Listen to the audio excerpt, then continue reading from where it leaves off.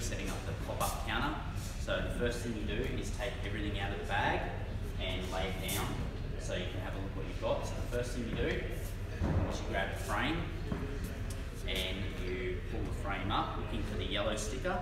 So you'll see there's a yellow sticker indicating the top and that's also saying that that's the front. So the first thing you do, pull that together, keeping that on the top and that's also obviously as we said the front. So the magnets will hold that together.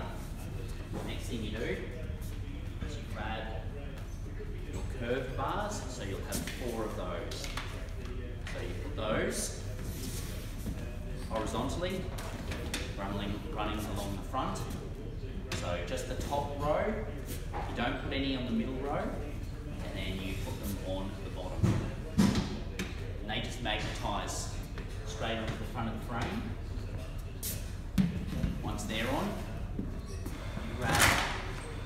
vertical magnetic bars. Now they run all around the frame, both top and bottom. The only place you don't have those is in the middle of the back. So we'll start with the back. They'll just sit straight on the front. Again, we're not putting any in the middle.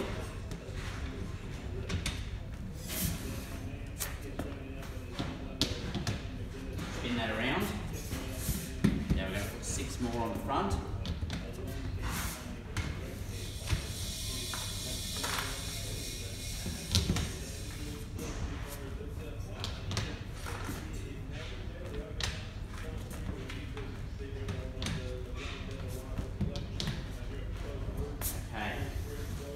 Now there is, if there is two leftover ones, which this one has, you can put them in the middle if you like. So I am going to put these extra ones in the middle of the back. Now the next thing, and this is really important, is you have to put the magnetic print on first before you put the lid on. So you, you I'm setting the back of the frame here with the curve to the front. You grab your print, and you'll notice running down the very centre of the print, you've got a magnetic strip. And that will line up with the front magnetic strip running vertically. So you stand behind the frame, lift that up, and you line up your three vertical strips. Move top out of the way. So you line up your three vertical strips, the front and the sides.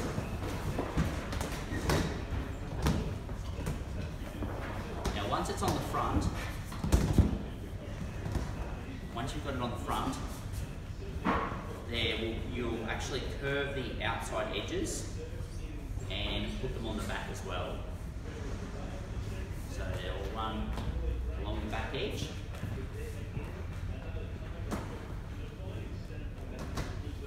And you'll see now, it's just like that. So that's where your edges, as I said before, you'll a curve and that will sit nicely on the edge there. If you do have a back panel, the back panel will sit over the edge of these frames and also on that magnetic strip down the middle. So you can put a back panel cover on here, but you don't have to put that on until after you put the lid on. So the next thing you do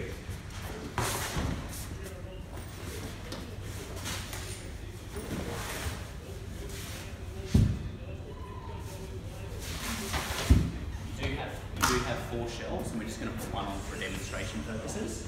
So the next thing you do is you've got four places for shelves, and you put your shelf on an angle to get it in, and then you'll notice the little cutout. Flip that over, and that will go on the left hand side.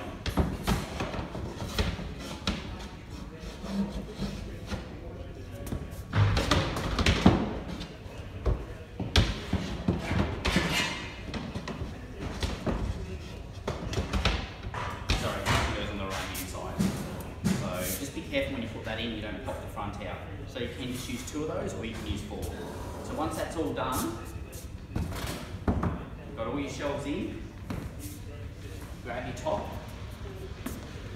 Now there's four holes on the top. Now you line up those holes with the little pins on the top of the frame. Now if you can't find those little pins, if you can't find those little pins sticking up, then you've probably got the frame upside down, so you'll have to swap it around.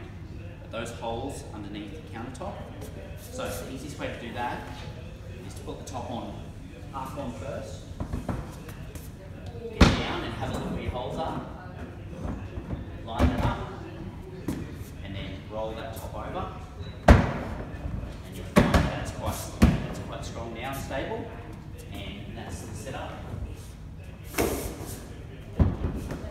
That's the setup for the pop-up counter. Just one additional tip. When you grab your pop-up counter graphic magnetic panel or you're going to pack it away, make sure that you roll the print on the outside. Otherwise the panel, next time you go to set it up and use it, the panel will want to pop off and it won't stick on the magnet. So again, when you roll it up, leave the print on the outside